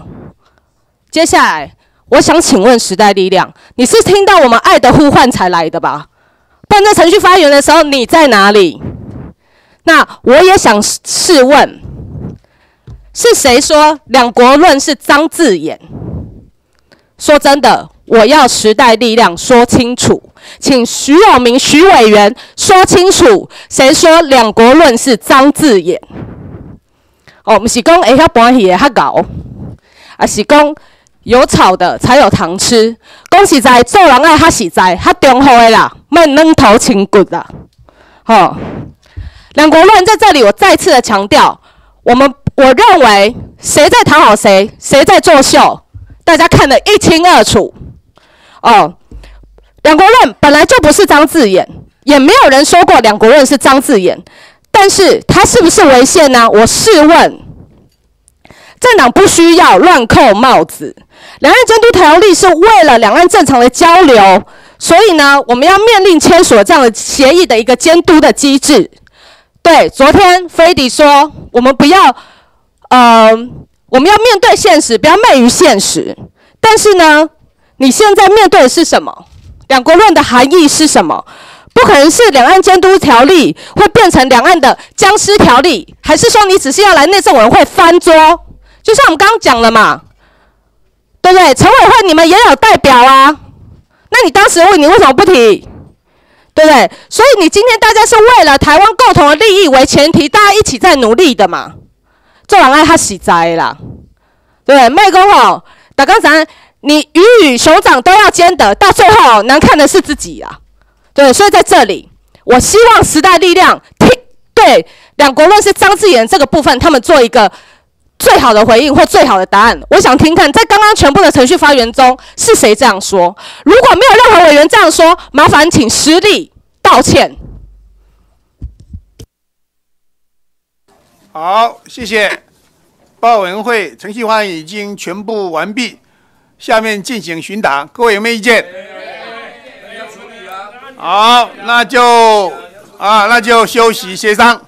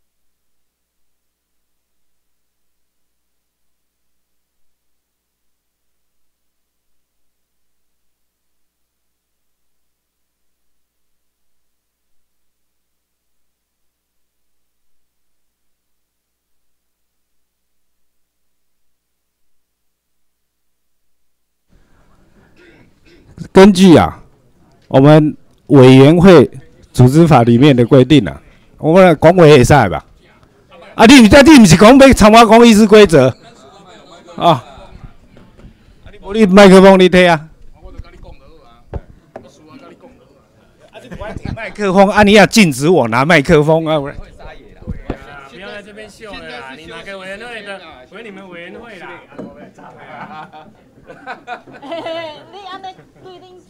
你安尼对恁书记讲比赛哦，给回去嘞。是啊，你让赵伟排案，你不给他排案，我真的没有不给他排案，然后你也在我靠你的你的马案你走。我们尊重招委啦，提案给他处理啦，这样可以吗？啊，程序问题已经提出来，招委就要处理啊，程序问题优先啊，本来就是这样啊，大家都照议事规则来啊。都被整。哎，啊你不审，你们都不爱不爱信，你都讲不爱信嘛。国民党的面对恁敢摆，你得要处理程序问题啊。会处理，会处理，不用担心，人家要处理处理，怕你们不处理而已。哦哦，对啊，你们不审啊，我们要询答，你们不询怕你。们不处理而已啊。程序问题奇先怪处理啊啊，先询答，到底是谁不处理？啊？怕你们不处理理啊，我们要处理啊，开始询答逐条啊，来啊。啊，赵伟，你有定性吗？伊个程序问题先处理啊，这里交给宽限呢。不要拍桌子，不要拍桌子。无啦，你连交位你该按照做，你就照做啊。你放心，我照做，但是不用你辅导。哎，那我当然不不敢辅导你，那么厉害，我怎么敢辅导你？不要你不是还所罗门王？哎，讲话不要那么酸。哎，哪敢呐？嗯，很酸的，昨天就很酸的，还有什么不敢？你要多我那干？嗯，你好大，我好怕。昨天就很酸的。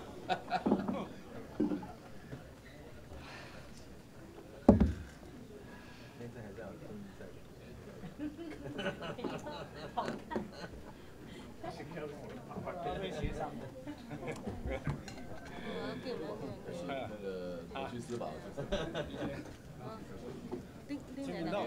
啊？我啊，我都我就，嗯，我没协商我啊，他不协商。would happen.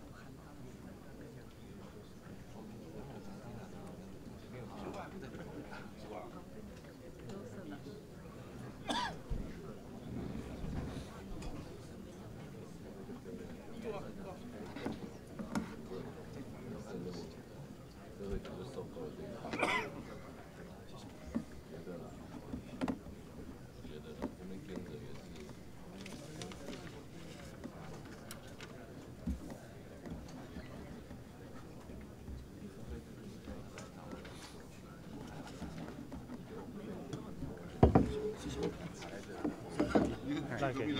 好，好，我说现在在协商了。对，协商要不要退回宴会，然后联席审查了。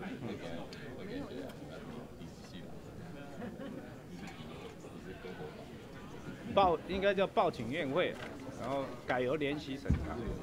张一鸣，嗯，按下面。好，我来找一下。哎，你们那怎么样？我跟在门口跟你讲。怎么样？就是有效快，你不省哦，多。好，我们就开始协商。好，来，提案委员有没有意见？好，来。好，但是我们基本上还认为啊，跟啊组织法第十三条不合了。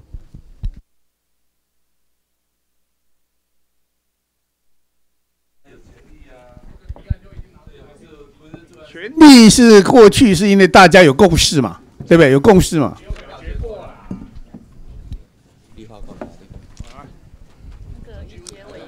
哎，主席啊，主席啊，我真的是再一次呼吁了，好，这其实没有什么好秀的啦，好，我我是觉得说，大家一立场都表达了，啊，那按照议事规则，现在这个提案，主席就来处理嘛，好不好？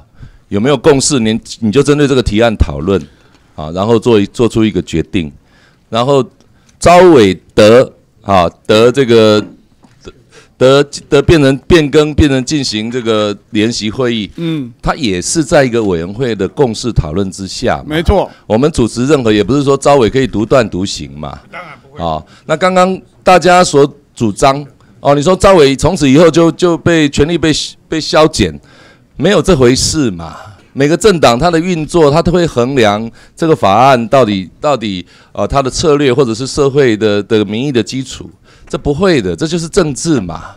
卖你大概卖欧北欧北岛啦，我讲真的啦，哦，我也不想要，我也不想要借这个来秀，我其实厌烦，坦白讲，我真的很厌烦，好不好？好，各位，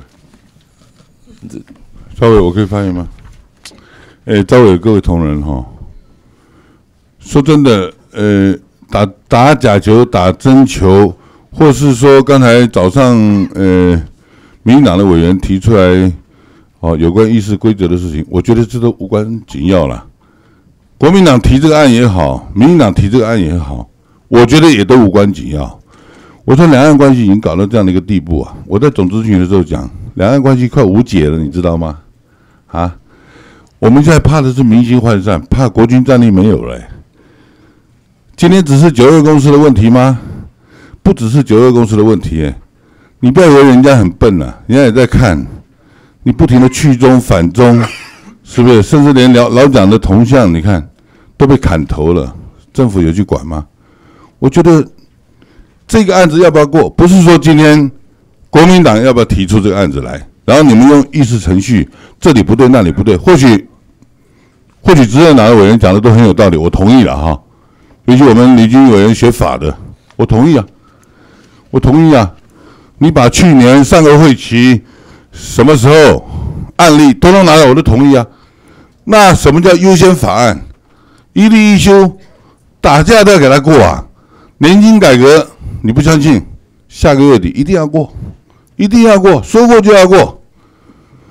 这个案子，哈，已经扯了那么久了。你看林非凡，哈，林非凡后悔的要死哎。那天在电视节目上面，把这个撕，哎，这样撕掉了嘞，撕掉了，我被骗了。所以我觉得执政党哦，处理这个事情不要让老百姓有个被骗的感觉。我希望媒体全民监督，老百姓也全民监督，大家都在看，不是作秀啊，姚委员，真的不是说国民党作秀，国民党可以不提这个案子啊。我觉得我都建议我们招委可以撤案，但是民进党你要把案子提出来啊。你这案子可以五二零到现在已经多久了？你看看，你当板提出来啊，我们同意啊。那你排案啊，你赶快弄啊，是不是？不是时代力量讲说什么中华人民共和国、台湾共和国，你这样一个东西提出来，老公会接受吗？这是双方谈判的事情啊、我觉得两岸已经搞到这样啊，已经搞到这样，真的，我们也不要说狂妄自大了。说真的，我们台湾人真的是很了不起，我们有很多傲人的成就，但是我希望哈、真的这件事情不要再犯政治化。今天我觉得招委你的才是怎么样，我没有意见哈、我没有意见，我觉得你可以才是怎么样怎么样。你今天要司法委员会也好，经济委员会也好，大的委员会，哎，全部都来。哎，那你们民党提案嘛？你提什么案不是马上就过吗？哎，你看好了，年金改革今年一定要过啊。那什么叫优先法案？五二零过了，你们上个会期就可以过啦，一年的时间你们就可以过啦。这有什么呢？你们说要过的案子，通通都可以过，没有说过不了的。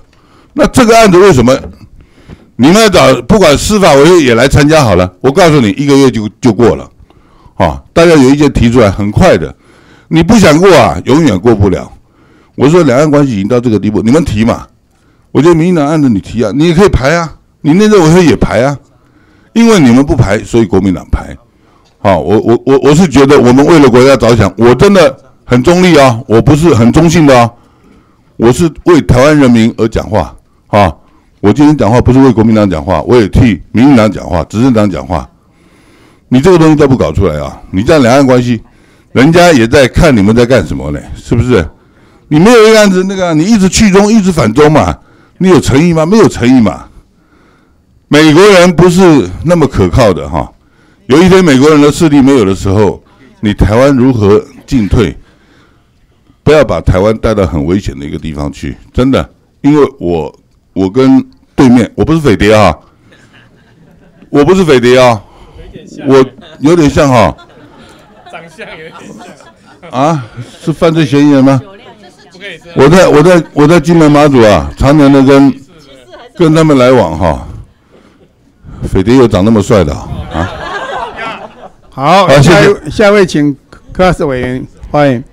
好，那其实还是要跟周一一样哦。其实周一的时候，民进党的委员几乎都是感谢曾明忠招委哈、排了这一案，因为民进党从来都没有说不面对这一案。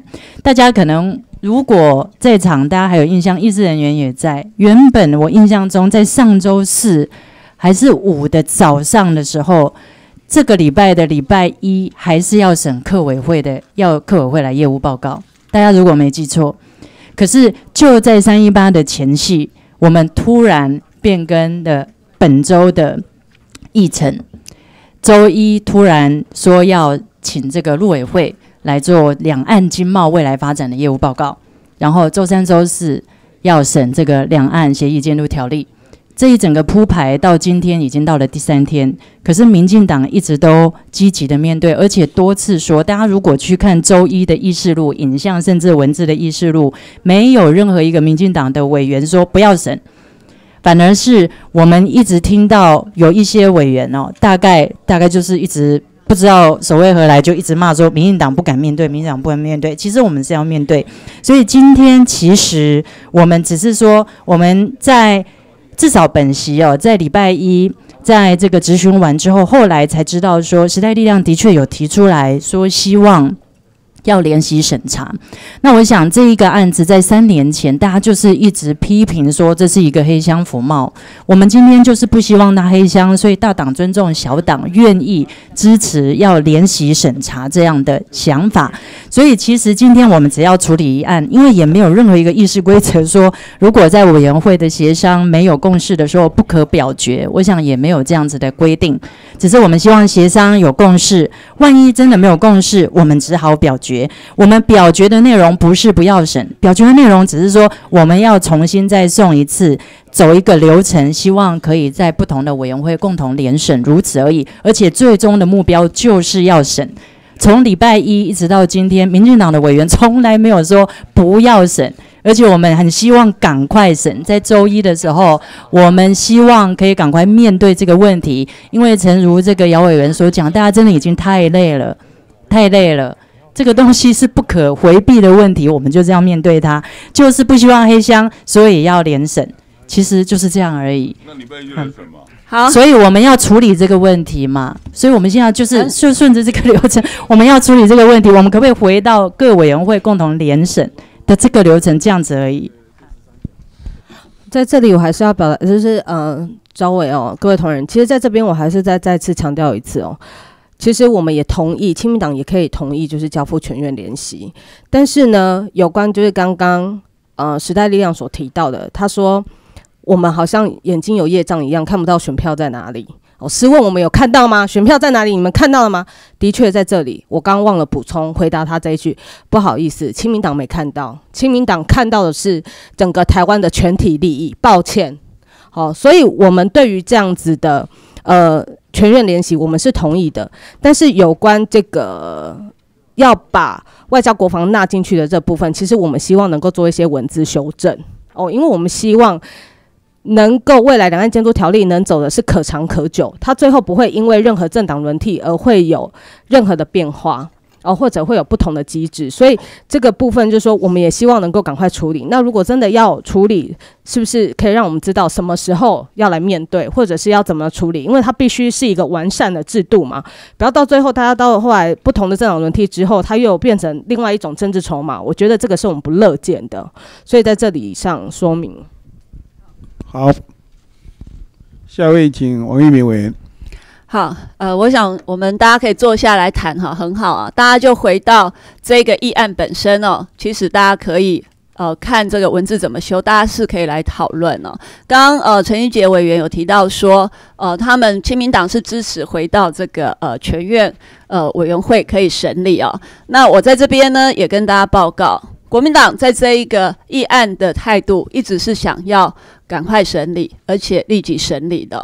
那如果民进党刚刚的发言也是说想要赶快审理，那我建议哦，我们是不是在这一个议案当中哦，可以比较明确的写下这个时辰，就是还有程序的不背格，还有就是回到内政委员会主审这样子的一个很明确的。呃，白纸黑字写下来，因为如果是这样子的话，就代表各党团的诚意嘛。民进党也表达说，你们不回避要面对嘛。那亲民党也说应该要审理，国民党的立场是觉得应该要审理嘛。那我们就。因为现在是协商嘛，哈，刚刚大家论战一番之后，也发现说，的确委员会的这个议案要退回去院会，这是招委的权限。那过去很多大家都是经由大家协商有共识的，所以才退回这个院会。那如果大家希望是基于扩大参与的，那我们就把我刚刚讲的这几个要件。大家展现自己的诚意，把它写下来，是不是？民进党愿意修正自己的提案，把这这些字写下来？因为刚刚包括赵天麟委员、姚文智委员上台发言都说，他们没有要回避这个问题，而且希望赶快可以处理。那目的只是为了让其他的委员会的委员，大家可以进来参与而已。如果只是基于这样的目的，那我想我们可以把这个提案文字再修正，就是说这个中间不背歌，而且还是回来交由内政委员会。就是主审，好不好？好，呃，赵天委员，哎，我们基本上是同意王玉明委员所说了哈，就是说那个基本上由内政主审是天经地义，我们其实只是扩大参与，但是这个案子本来就是主管机关就是陆委会啊，那没有完全没有非内政主审的理由啦，好啊，所以基本上我们同意哈，那所以就大家看看怎么修嘛，就是说那。然后另外哈，陈一杰陈一杰委员所提的那个是不是外交国防要不要纳入与否？这个其实也不是我们现在可以决定，那是院会的权权利嘛哈。那只是我们这个案子本身就没有限定一定我们主张要外外交国防一定要纳入与否，并没有在这个提案里面触及啦。那所以看大家怎么写嘛。我们在这里我我们写不背个很很奇怪，但我在这边公开表达，我们是好，我们代表民进党团公开表达，我们绝不背个。而且支持支持，好，那那我们当然也欢迎哦，曾委员或者我们姚委员再再交付来内政主审，好，但加上更多的委员会参与的时候，我们排案嘛，好，我我也会抢先登记，好，我我的名字还在那边嘛，好不好？那看主，那能不能写明啊？比如说一个月内，一个月内又回来到。内政委员会跟更对更联系，OK。是这个你不能够遥遥无期啊。可是这个内政也不能决定，不是吗？这个是院会、院会、院会决定的。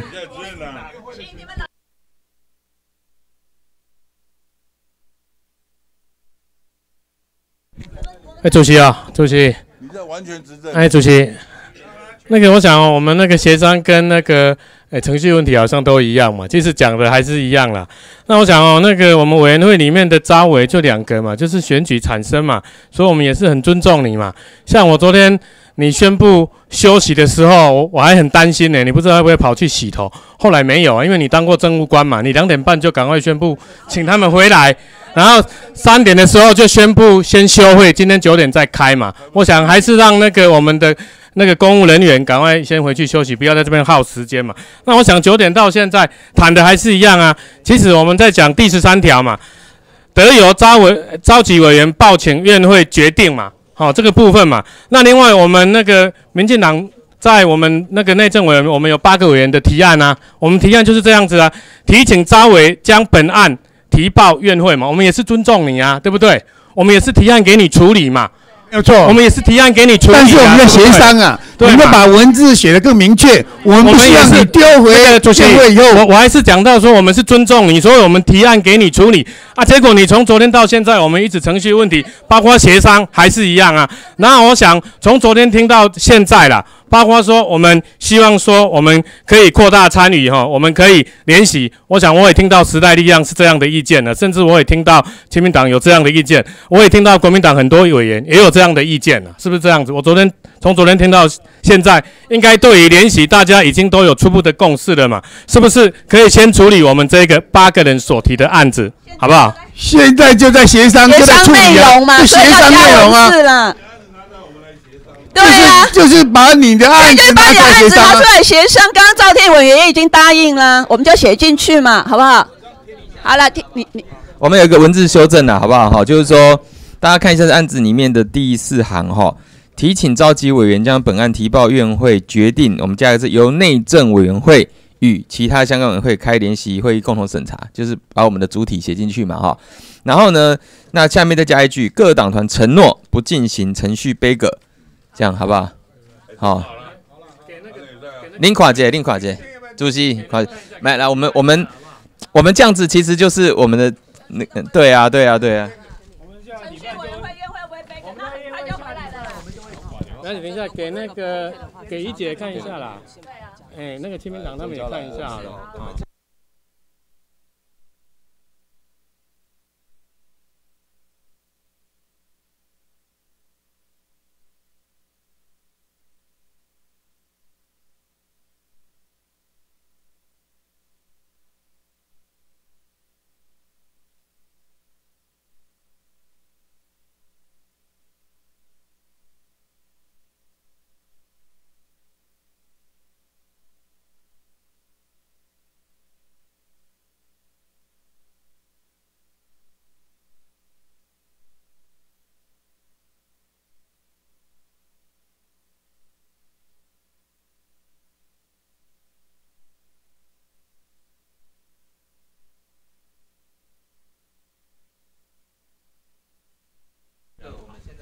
加注意见后啊，协商这个本来没有不必协商，本来就是要有提案就要处理嘛，不是不是尊重招委，招委要尊重所有委员啊啊，这这不是因哈啊，协商推回去嘛啊，这个叫宴会以后再，因为以后的层级是院长来组织朝野协商，你现在再加出任何一个都没有用，什么不背格，哎，上会期的劳基法修正，协商打个签门就抓了不背格宴会。A 会就哎是签读过，以后再保安组一台，结果呢吼，好像成哎就是这样啊。我们班搭下来啊，一第一修班搭下来，我想一个重要，你下届吼好像影射谁会背格，是你们要背格还是还是我们要背格还是经常要背格才是这样讲？这个人我我我我好啦，这个哈，因为按上会期是超尔相签下去宴会宣读过等同法律啊，你们还照常再组一台，是吧？对吧？就是这样的原则啊，不要加注什么任何任何价值判断了。什么不敢写，敢不敢写的问题啊？下来啊！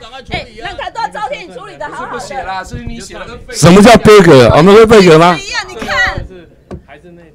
你看你们民进党自己内部意见没有办法统一啦。哎，民进党就是不想审了。民进党怎么这样啊？哎，刚刚人家赵天文跟大家谈的很好哦。我们同意联席了嘞，他们不同意联席，你们就是不要背个，然后让内政主审就好，这有什么难的？我们同意联席，你们还是不敢承诺合理的承诺。一个月内再再回到联席委员会来审查，你们都不敢为什么连这。样子的承诺都不敢呢？一个月内回来对，那就表示民进党不不不想审嘛。哎，那你们就是不想审，对不对？就是不想审。早上已经讲半天了，这个案子只能协商，也不能表决，啊，现在就在协商。我们提出来的要件就这样，你又不敢。回到内政委员会联席，你们都不敢，都不干。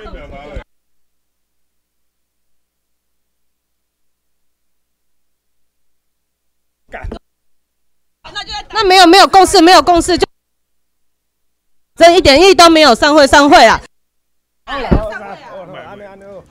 民进党真的是不敢面对，不敢审，让人家非常的遗憾，让人家非常的遗憾，让人家真的是太遗憾了。这是可以协商的东西，我们如果同意，你们就是不敢面对，不敢处理嘛。民进党内部搞内乱呢、民进党内部内乱根本步调不一致啊，讲不拢了。对啊，真是太奇怪了。这北山标管啊，啦，我们主席主席才是一下，主席才是一下。本来袂当标管的代志，他都要讲几半波，大家搁搁听无？哎哎，主席，很奇怪哎。我们内政内政委员提上会动议应该优先处理啦，要优先处理的。好啊，谁谁提上会动议？谁提上会动议？全体委员提的三位动议的呢，那个主席要处理啊，休息了休息了休息了，休息。休息休息五分钟。别的委员会来来我们这边喊休息，那我们没有休息了啦慢没差慢没差提上会动议，本会委员提上会动议你要处理啊，上会动议你要处理啊，稍微怎么做嘛？对，讲一个啊，他走。本会委员提上会动议啦。民进党在怕什么？民进党在怕什么？民进党在怕什么？好了，我们我们基本上就同意内政委员会主审，然后我们也不会背个啊，大家赶快过这样子啊，文字不要写在里面，这样难看呐、文字不要写在算了。哎、散会了，好不好？你要提散会东西，散会东西先处理。休息了，休息休息。好了，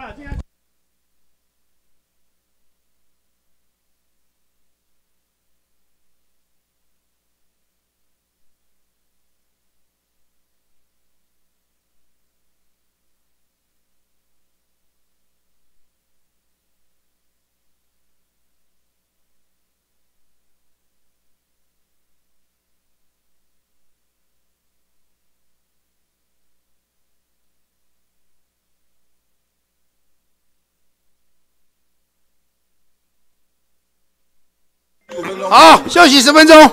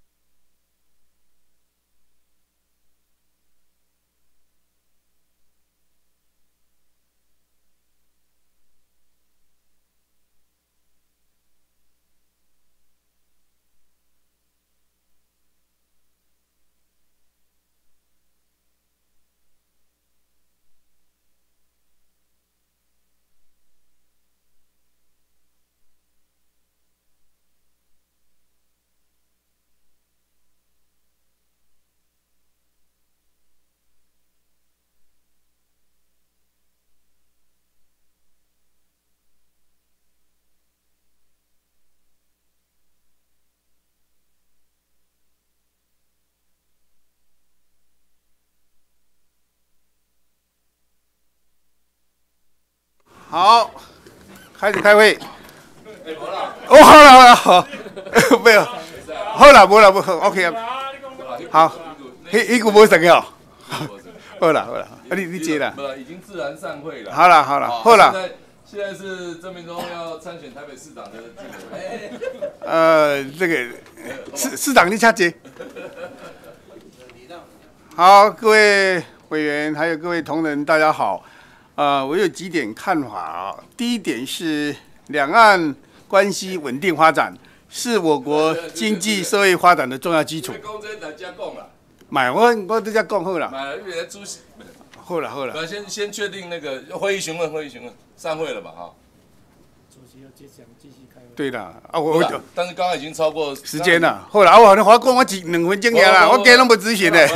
会，你也在讲了，哎，一分钟嘛，对啦，你也在讲。我在讲哈，好啦，我我你我讲。但是迄个未处理迄个啦，好啦，你放心啦，没啦没啦。你确定？确定啊！啊，我我我没啦，我没处，我没啦。那现在是程序发言了。哦，程序发言。因为那个早上他都没有程序。对对，我都不发言，我不发言。一年啊，对啊，我准备了很久都没发言。好。你好，讲完我散会啊。我三分钟。一分钟了。哦，一分钟一分钟，好。都已经自然散会啊！啊，你我讲者啦。好。啊，我程序两工都无讲诶。啊。讲，今仔无讲。哦，早嘛无讲。无啦。无啦。好，谢谢。我有几点看法哈。第一个，两岸关系的稳定发展是我国经济社会发展的重要基础。第二点，民进党及行政院已经将两岸协议监督条例列为优先法案。林前认为，林前院长也认为，本条例草案应该要审查。陆委会张主委亦期待能够尽速完成立法，一人定定公开透明、人民参与及国会监督之两岸监督条例，现阶段有其必要。第三点，本席在二十二号、二十三号两天排审本条例草案，是要回应各界的期望。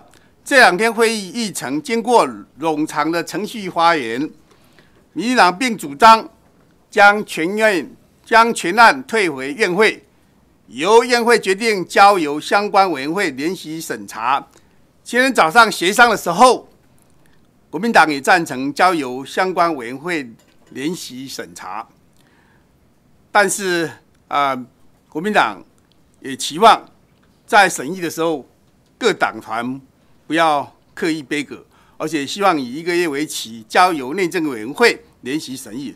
但是民进党又拒绝国民党的提议了，充分显示民进党似乎无意要审查补条例草案，真是遗憾。我也期望，我也期望，也拜托姚文智、赵伟下一周能够继续排审本草案，能够让尽速建立。两岸的协商监机制，回应各界的期望，谢谢。好，那就不要讲了。好，散会。哦哦，我那个我来来来，哦来。对了，散会那散会那句话哈，是在他讲那段话之前呢啊，要列入记录。这个这个会议，我刚刚就会议询问了哈，因为那个这个这个主席协商好，或者是休息的时间是超过我们今天会议的时间，所以刚刚刚刚我是。啊，五点三十分之后，那主席说有话要讲啊，那呃，其实他可以大可以在这里宣布要参选，或者他个人的任何任何主张了哈，因为都是代表他个别的意见啊。那呃，我们希望说那个不应该列为哈，列为今天会议的记录了哈。那至于其他，我觉得这么这个大家都急着散会了，真的不要再横生枝节哈。今天。今天的会议就是，呃，早上程序发言之后啊，休息到现在结束，自然结束啊，谢谢。